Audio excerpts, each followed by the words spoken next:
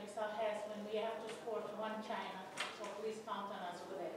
And we are a nation that internationally we have a vote. We want China to know this vote, China can count on it.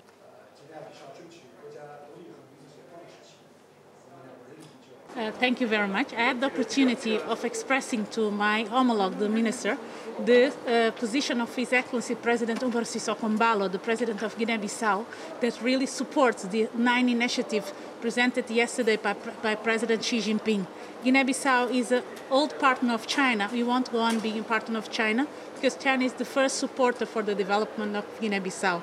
So we are here in FOCAC to show this support and to say to China that we are always available of working together in a South-South cooperation, in bilateral uh, uh, cooperation, and also for the good of both our people, for the people of Guinea-Bissau and people for China.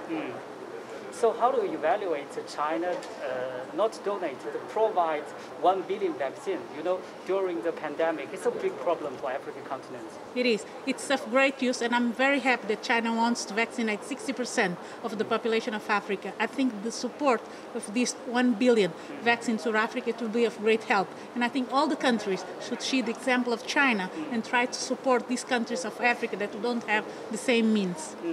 How do you evaluate our two countries' relationship?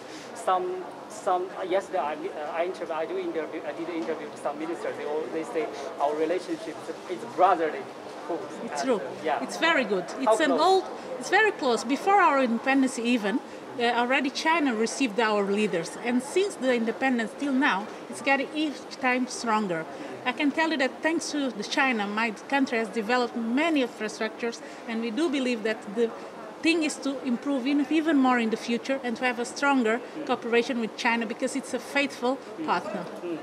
So the People's Republic of China back to UNC, it's uh, 50 years. Mm-hmm. Yeah, it's, uh, this year is uh, 50, marks the cer- ceremony of the 50 years. Yes. So do you have something to say about that? Yeah, I, I congratulate China for the international cooperation they have, for the way they treat the partner, because they treat it like brothers with respect, in a common way.